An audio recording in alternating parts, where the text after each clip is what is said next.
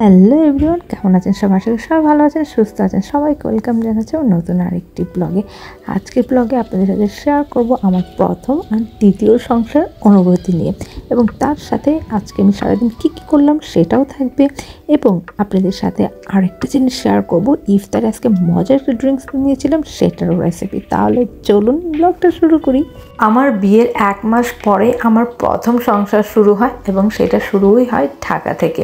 তো ঢাকায় যেহেতু আপনার ভাইয়া জব করতো আর আমি থাকতাম ঢাকার বাইরে, তো আমাদের সংসার জীবন শুরু করার জন্য তো আমাকে ঢাকা আসতেই হবে। এবং সেই সংসার জীবন শুরু করার জন্য আমাদের একটা বাসাও দেখা দরকার ছিল। তো আপনার ভাইয়া হচ্ছে আগে থেকেই টুকটাক একটু বাসা দেখে রেখেছিল যে কোন এলাকায় সে নিতে চায়। তো অফিসের মোটামুটি কাছেই আর কি একটা প্রজেক্টের মতো এরিয়া ছিল যেটা খুবই সুন্দর ছিল। এবং প্রজেক্টের এরিয়াগুলো কিন্তু বাসাগুলো মোটামুটি সেম প্যাটার্নের হয়ে থাকে এবং সুযোগ সুবিধাগুলো সেমভাবেই হয়ে থাকে। যার কারণে তার খুবই পছন্দ ছিল। সেই এরিয়াটা খুব চিমসাম ছিল এবং সেটা তার অফিসের মোটামুটি কাছে ছিল। এই জন্যই সেই এরিয়াটা তার খুবই পছন্দ হয়েছিল এবং সেখানে সে আগে থেকে কয়েকটা বাসাও দেখে রেখেছিল এবং একটা বাসা সে মোটামুটি সিলেক্ট করে রেখেছিল যে আমি আসলে সে আমাকে দেখাবে। কারণ আমি আসলে যদি বাসা পছন্দ হয়ে যায়, তাহলে আমরা সেটা বুকিং দিয়ে একদম ওইটাকে ফিক্সড করে ফেলব। তো যথারীতি হচ্ছে আমি হচ্ছে চলে আসলাম ঢাকাতে সে বাসা দেখার জন্য। তো এসেই হচ্ছে আমি সেই এরিয়াতে আমাকে নিয়ে গেলো আপনার ভাইয়া। এবং আমার যেহেতু আগে থেকে ঢাকার বাসা টাসা নিয়ে আমার কোনো প্রকার এক্সপিরিয়েন্স ছিল না, তো সেটাই ছিল ফার্স্ট টাইমের মতো সেইভাবে একটা রেন্টের বাসা দেখা। তো আমি আর আপনার ভাইয়া গেলাম। আমরা সেই এরিয়াতে যে ও যে বাসাটা মোটামুটি সিলেক্ট করে রেখেছিল, সেই বাসাটাতেই আর কি আমি প্রথমে আমাকে নিয়ে গেল। তো সেখানে যাওয়ার পর ওখানে যে মালিক ছিল তার সাথে কথা কথা বলে আমরা হচ্ছে বাসাটা আর কি দেখব, আমাদেরকে চাবি নিয়ে আমাদের চারতলা ছিল বাসাটা, তো চারতলা আমাদের নিয়ে গেল।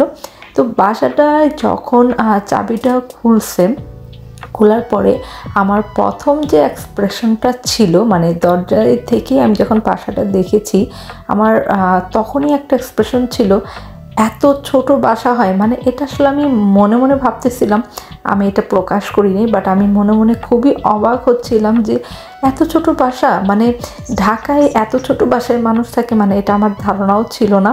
তো আমার প্রথম এক্সপ্রেশনটাই ছিল যে মানুষ এত ছোট বাসায় থাকে বা আমি কীভাবে এত ছোট বাসায় থাকব। তো এটা আমার প্রথম এক্সপ্রেশনটা ছিল আর কি। কারণ আমার যেহেতু মানে বাবার বাসাটা বেশ, আলহামদুলিল্লাহ, অনেক বড় ছিল।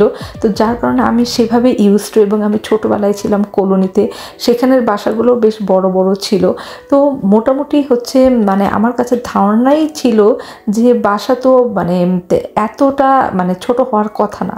তো যাই হোক, আমি আমার প্রথম এক্সপ্রেশনটাই ছিল যে এত ছোট বাসা হয় বা এত ছোট বাসায় হচ্ছে মানে আমি কীভাবে থাকব? তো এরকম একটা আমার মানে মনে মনে আসছে, যদিও আমি কিন্তু আপনার ভাইয়াকে কিছুই বলিনি, সেই মুহূর্তে কিছুই বলিনি। কিন্তু ওই বাসাটা দেখে আমাদের কাছে দুজনেরই খুব পছন্দ হয়েছে। অ্যাটাচড ওয়াশরুম ছিল মানে দুইটা ওয়াশরুম ছিল, একটা অ্যাটাচ ওয়াশরুম ছিল, একটা কমন ছিল, দুইটা বেডরুম ছিল লিভিং রুম ছিল ডাইনিং ছিল মানে একটা ছোট ফ্যামিলির জন্য একটা পারফেক্ট একটা বাসা ছিল। তো আমরা তো দুজন মানুষ, তো আমাদের জন্য একদমই পারফেক্ট তো আমাদের খুবই পছন্দ হয়ে গেছে সেই বাসাটা। তো পরবর্তীতে আমরা সেই বাসাটাই আমরা নিয়েছিলাম। যদিও সেই বাসাটা নিতে আমাদের বেশ ঝামেলা করতে হয়েছে, কারণ বাসার মালিক সে হচ্ছে আমাদের বিশ্বাসই করতেছিল না যে মানে আমরা হাজব্যান্ড ওয়াইফ তারপর আমরা আমাদের চাচিকে নিয়ে গিয়েছিলাম। সে নিয়ে যাওয়ার পরে তাকে দেখে এবং কথা টথা বলে তারা বিশ্বাস করেছে এবং তারপর আমাদের বাসাটা দিয়েছে। যেহেতু এটা একটা ফ্যামিলি বিল্ডিং ছিল এবং আমরা মাত্র দুজন মানুষ ছিলাম। স্বাভাবিক, এরকম হচ্ছে মানে থিঙ্ক এটা অস্বাভাবিক কিছু না যে কে না কে কী না কি বলে বাসা নিচ্ছে আর কি।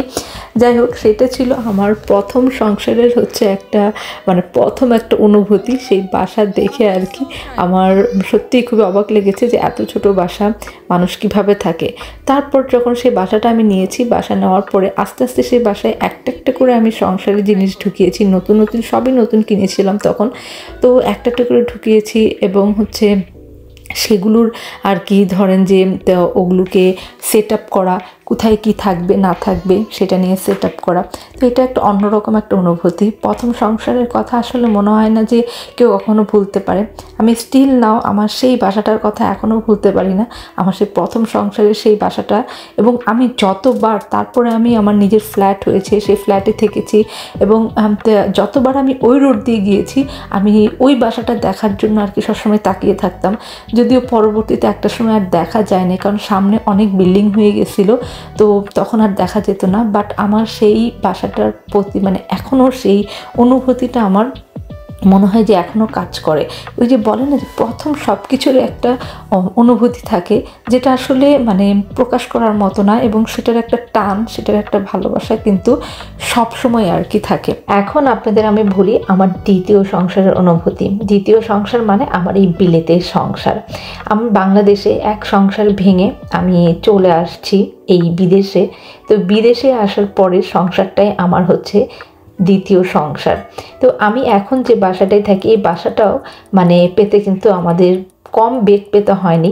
বাংলাদেশ থেকে একটা বাসা ম্যানেজ করে এই বিদেশে আসা, এটা যে কতটা কঠিন, যারা আসছে এবং যারা আমাদের সময়ে যারা আসছে, তারা জানে যে এটা কতটা কঠিন ছিল যে বাংলাদেশ থেকে একটা বাসা ম্যানেজ করে আসা। যাই হোক, তারপরও আল্লাহ আমাদেরকে এই বাসাটা আমাদেরকে মানে ম্যানেজ করে দিয়েছে এবং বাসাটা এত ভালো, এত সব কিছু আর কি আমাদের এই বাসাটার কাছে, যার কারণে এই মানে এখানে থাকতে আমাদের কোনো প্রকারই অসুবিধা হয়নি।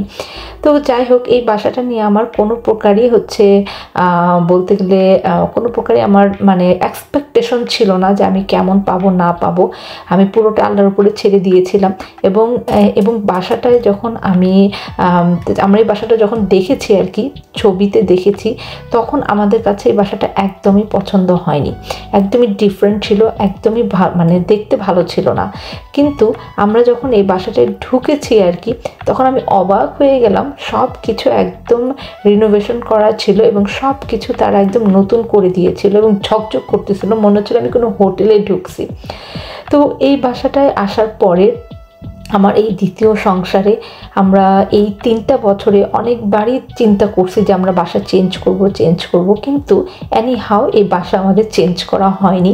তার অন্যতম কারণটাই হচ্ছে আমাদের কমিউনিকেশনের জন্য, বাচ্চাদের জন্য নিজেদেরও ফাইন্যান্সিয়াল কিছু হচ্ছে সেটেলমেন্টের জন্য সব কিছুর জন্য আমরা ওয়েট করছিলাম এবং এই বাসাটা আমরা চেঞ্জ করতে পারিনি। কিন্তু মজার বিষয় হলো আমার প্রথম সংসারের বাসার আয়তন এবং আমার এই দ্বিতীয় সংসারের বাসার আয়তন একদম সেম আমি বাংলাদেশে আমার নিজের যে ফ্ল্যাটটা আমি ছেড়ে এই বিলেতে চলে আসছি এবং তার সেই বাসাটার হচ্ছে, অর্ধেক হচ্ছে আমার এই বিলেতের বাসা। তো আমার কাছে এটা আসলে খুবই নর্মালি লেগেছে কারণ আমি যেহেতু অলরেডি এরকম একটা বাসায় সংসার চার বছর করেছি, তো যার কারণে আমার কাছে এটা আর কি কোনো এতটা বেশি আর কি এখানে অ্যাডজাস্ট করতে আমার কষ্ট হয়নি। এই তিনটা বছর আমার দ্বিতীয় সংসারে আমি কোনো কিছু সেইভাবে করিনি। যতটুকু না করলে না হয়, ততটুকুই করেছি। কিন্তু এখন আস্তে আস্তে করে আমার সংসারটা সাজানোর চেষ্টা করতেছি।